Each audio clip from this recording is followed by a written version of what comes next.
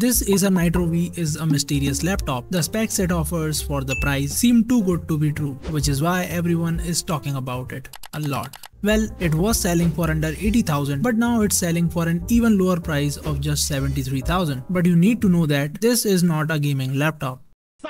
Let me explain and try to answer your burning questions about this laptop. For 73,000, the specs are just great and performance almost like an RTX 3060 found on this IdeaPad Gaming 3. But the key difference, as I said, this is not a gaming laptop, at least in the conventional sense, is this.